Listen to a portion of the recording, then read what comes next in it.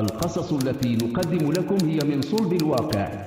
تعمدنا تغيير أسماء الأشخاص وأحيانا الأماكن وإذا ما وقع تشابه أو تطابق في الأسماء أو الوقائع فإنه من باب الصدفة ليس إلا. قبل عشرين عاما في ولدشبل انقلبت أحوال عائلة براقي رأسا على عقب. فقد قتل رب الأسرة ومعيلها عبد الرحمن براقي بعدة طعنات وجهها إليه اثنان من أبناء جاره موسى بخضرة حدث ذلك قبل مغرب الخامس من رمضان من العام تسعة وتسعين تسعمائة وألف بعد أن احتد النقاش حول الحدود بين قطعتين أرضيتين تعودان للعائلتين. كان عبد الرحمن براقي يؤكد بأن تلك الحدود تم رسمها بعد اتفاق بينه وموسى بخضرة الذي توفي عامين من قبل. تعالت الأصوات بالشتم المتبادل. تجمع الشهادات التي تم الحصول عليها على أن عبد الرحمن انسحب وقصد منزله الذي يبعد عن القطعتين الأرضيتين بنصف كيلومتر.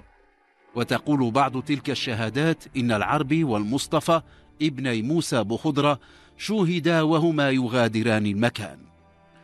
كانت حليمة زوجة عبد الرحمن تعد وجبة الإفطار بينما ولداها سليمان ويوسف يلعبان بالقرب من باب المنزل. كان سليمان وهو الأكبر في الخامسة وشقيقه يوشك من إتمام السنة الثالثة من عمره. اعتادت الزوجة الشابة أن يعود زوجها من العرصة بعيد العصر ولكنه تأخر في ذلك اليوم. انتظرت طويلا ثم رفع آذان المغرب وخلت الشوارع من المارة. لم تعد تستطيع أن تكتم القلق الذي اجتاحها. قدمت لولديها بعض الطعام وخرجت تريد إلى منزل عمهما أحمد الذي لا يبعد كثيرا. كان على مائدة الإفطار مع زوجته وأولاده. لما أبلغته بغياب عبد الرحمن نهض وخرج يبحث عن شقيقه. الشوارع خالية وليس هناك من يسأله. ثم إنه في بحثه سلك الطريق المؤدية إلى العرصة. قبل أن يصل وجهته كان الاكتشاف الرهيب. شقيقه عبد الرحمن مجندل على الأرض وحوله بقع دم كبيرة. انحنى عليه لاحظ أنه لا يزال على قيد الحياة. حاول أن يحمله سمعه يقول بصوت فيه حشرجة وتقطع خضرة. ثم فقد وعيه. حمله أحمد. يحاول أن يسرع الخطى. ولما بلغ الطريق المعبد صادف مرور شاحنة. لوح للسائق وكان معه شخص آخر يطلب منه التوقف. توقفت الشاحنة وجاء الرجلان يسرعان. مدده على الطريق. لا يكاد يستطيع الكلام أنفاسه تتسارع. تقدم أحد الرجلين وكان الأكبر سنا. جس نبض عبد الرحمن. التفت إلى أحمد وقال إنه ميت. عزاه دون أن يسأله عن قرابته إليه. عاد الرجلان إلى الشاحنة التي ما لبثت أن انطلقت. خلع أحمد عباءته وغطى جثة شقيقه عبد الرحمن. عليه أن ينتظر من يساعده في حمله إلى منزله. الشارع خال من المارة ثم إنه شاهد سيارة للدرك تقبل. توقفت عنده. نزل أحد الدركيين وأزاح العباءة عن وجه الميت. كان أحمد مذهولا. ما حدث كارثة حقيقية أصابت أسرة شقيقه وعائلة براق كلها. سيدرك أحمد لاحقا أن سائق الشاحنة هو من أبلغ الدرك. بعد صلاة عشاء ذلك اليوم المشهود سرت في الحي أخبار تحكي المشادة الكلامية التي وقعت بين عبد الرحمن وابني موسى بخضرة العربي والمصطفى.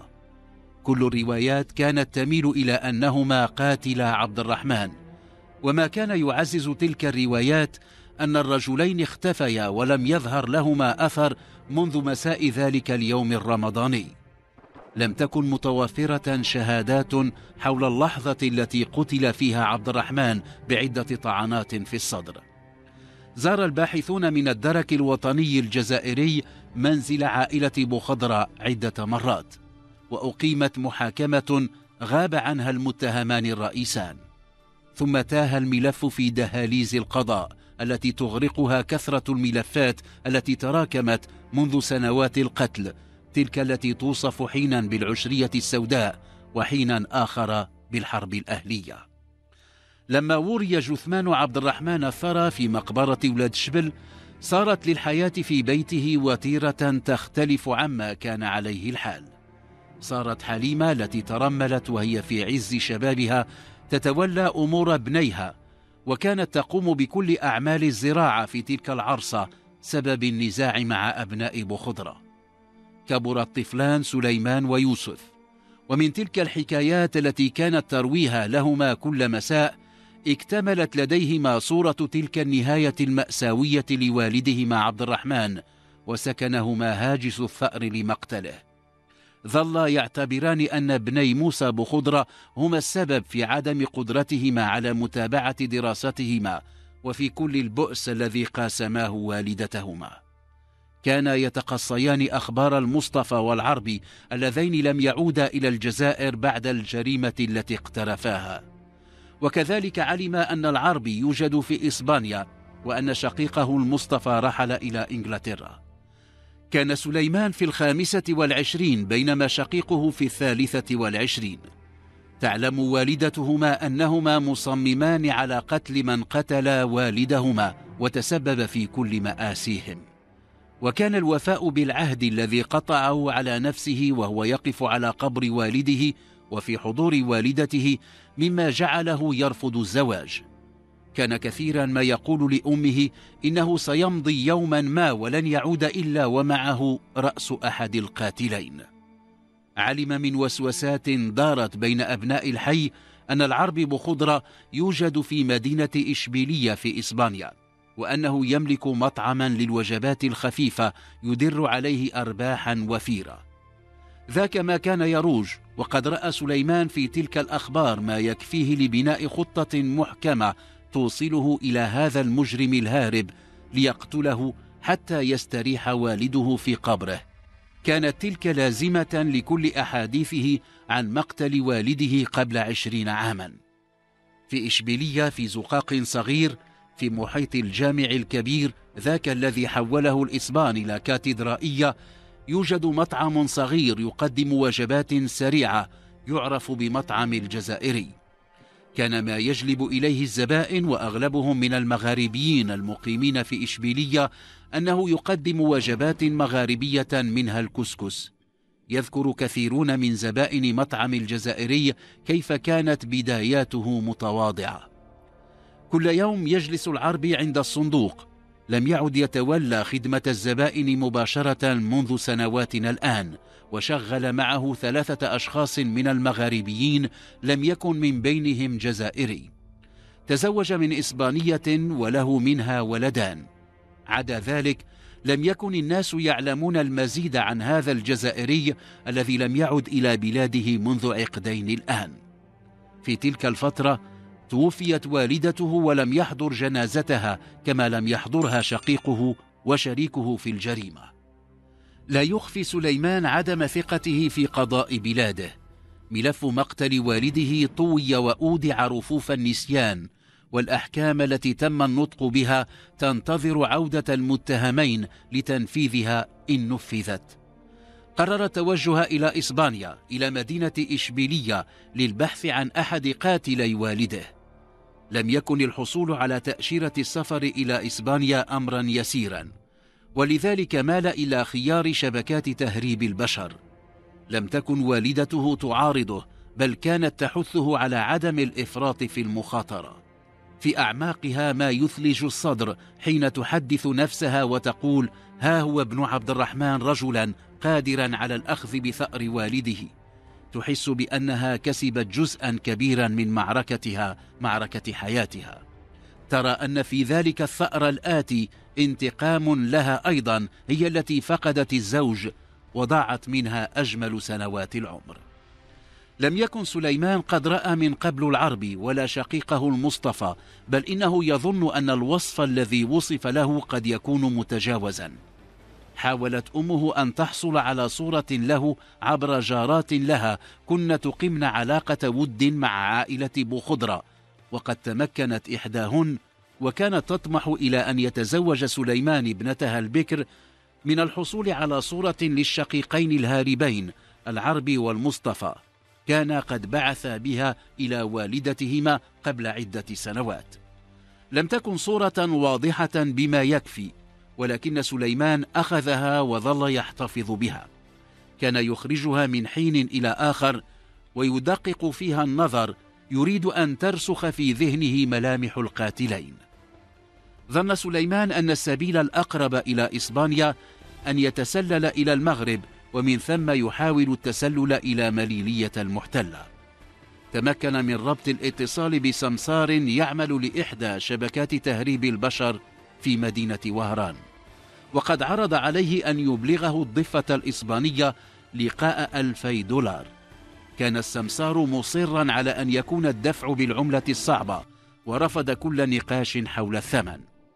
رأى سليمان أن فيما يعرض سمسار تهريب البشر ما يقرب المسافة بينه والثأر لدم أبيه. لما عرض الأمر على والدته لم تتردد في بيع ما بقي لديها من حلي بل إنها اقترضت مبلغا من المال من قريب لها لتوفر ثمن رحلة الانتقام. في السوق السوداء لم يكن أمرا صعبا شراء الدولار. لما تم الدفع أحضر السمسار لسليمان أوراقا زائفة تجعل منه بحارا على متن سفينة تجارية. وفي اليوم المعلوم حضر سليمان ومعه متاع خفيف. كان السمسار حاضرا عند سلم الباخرة. قدمه لشخص قال إنه كبير البحارة. بعد ساعتين أو ما يقرب من ذلك كانت تلك الباخرة التجارية تبحر من ميناء وهران إلى ألميريا بالجنوب الإسباني.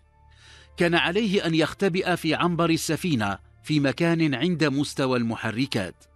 وقد وعده الذي تولى أمره بأنه سيساعده على الخروج من الميناء وأنه بعد ذلك سيكون على استعداد ليحلف بأغلظ الأيمان أنه لا يعرفه وأنه لم يسبق له أن رآه لما رست الباخرة في ميناء ألميريا نزل ومعه الرجل الذي قدم له بأنه كبير البحارة. في مكتب من المكاتب في الميناء بتلك الوثائق الزائفة تمكن من الحصول على رخصة للخروج من الميناء.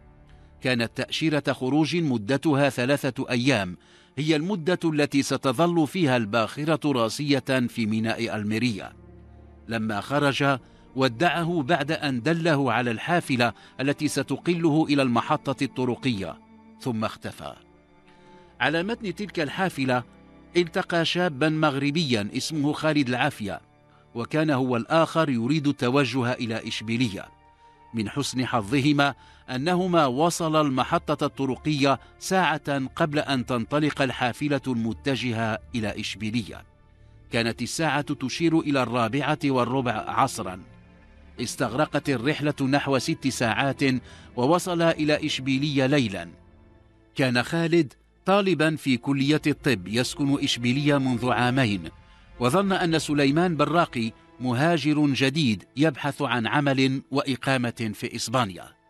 خلال تلك الرحلة حاول سليمان أن يعرف منه بعض الأشياء عن الحياة في إشبيلية وكان مما سأله عنه الأماكن التي يمكنه أن يجد فيها المطاعم التي تقدم الأكل الحلال. وكان في جملة الأماكن التي ذكرها الشاب المغربي تلك المطاعم الصغيرة التي توجد في منطقة جامع إشبيلية السياحية التي يسهل الوصول إليها. لما وصل ودع الشاب المغربي سليمان الذي صار عليه الآن أن يتدبر أمره. لقد صار يواجه واقعا جديدا وجهله باللغة الإسبانية مما لا ييسر له المهمة التي جاء من أجلها. لما خرج من المحطة الطرقية بلاسا دي أرماس مشى في الشارع على غير هدى ولا وجهة معلومة. يسلي النفس بأن في مشيه ذاك اكتشاف للمدينة.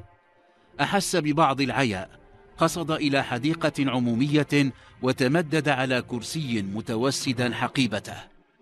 كذلك يفعل كثيرون ممن لا سكن قار لهم. في الصباح فرك عينيه وحمل حقيبته يريد الذهاب إلى جامع إشبيلية. وكان الشاب المغربي قد قال له إن الإسبان يسمونها لكاتدرال. اكتشف أنه لم يكن بعيدا عنها. كانت الصومعة تذكره بصوامع مساجد المسلمين. في تلك المنطقة حركة دائبة.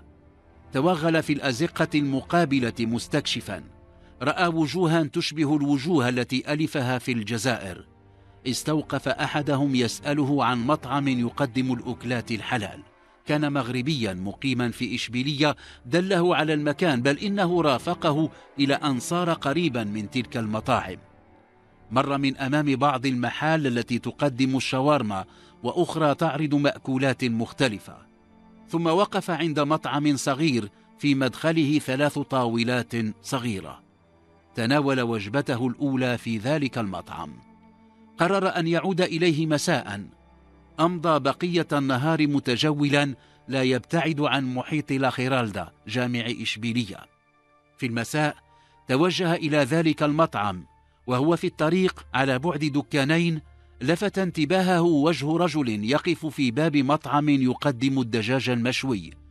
تظاهر بالنظر إلى ما يعرض من طعام واسترق نظرات عن قرب إلى وجه ذلك الرجل. سريعا أيقن أنه العربي بخضرة قاتل أبيه. أحس بشحنة كهربائية قوية تكتسح جسده ولكنه تماسك وانصرف. عاد إلى الشارع الكبير واقتعد كرسيا. ها هو الآن على بعد خطوات من الرجل الذي قتل والده قبل عشرين عاما. يعلم أن كل تحرك خاطئ قد يكلفه حياته ولذلك رأى أن يتخذ سبيلا مختلفا ليكون أقرب إلى العرب حتى إذا ما وجه إليه الضربة التي جاء من أجلها كانت القاضية. في اليوم التالي عاد إلى ذلك المطعم متظاهرا بأنه طالب عمل. كانت المرة الأولى التي يتحدث فيها إلى هذا الرجل الذي يسعى إلى قتله ثأرا لدم أبيه. لما أخبره بأنه من الجزائر التمع في عيني العرب ما يشي بالحنين إلى بلده. لما سأله من أي جهة في الجزائر هو أبلغه بأنه من وهران. وافق العرب على إيوائه في مطعمه إلى أن يرى إمكانية تشغيله. في خلفية المطعم أعد له فراشا. لما أقفل المطعم وآوى سليمان إلى ذلك الركن الضيق أمضى ليله يفكر في الطريقة التي تمكنه من تنفيذ المهمة التي جاء من أجلها بسرعة. في الصباح الباكر كان العربي أول من جاء إلى المطعم. لما فتح الباب وجد سليمان واقفا أمامه.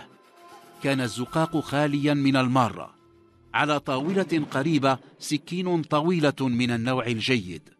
كان العربي يعد فنجان قهوة وفي فمه سيجارة ملأ دخانها المكان. لما أيقن سليمان أن لا أحد في الجوار أمسك بالمدية الطويلة وأخفاها وراء ظهره.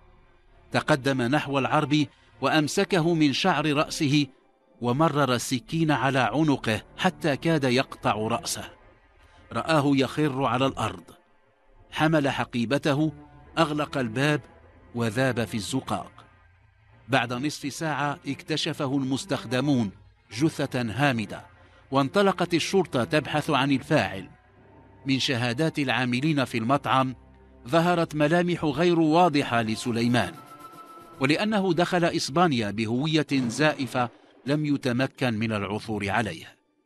بعد شهرين ظهر في ولاد شبل وكان قد سبقه إليها خبر مقتل العرب بن موسى بخضرة أحد قاتلي أبيه. لم يعقب على تلك الأخبار وزعم أنه خلال غيابه كان في العاصمة يعمل في مقاولة للبناء. كان يخشى أن يقوم من عائلة بخضرة من يريد الثأر. مرت عدة أشهر وسمعت حليم ابنها الأصغر يوسف يقول إنه يريد الذهاب إلى إنجلترا. نظرت إليه أدركت أنه يفكر في الانتقام. قالت له واحد يكفي فما في كل مرة تسلم الجرة.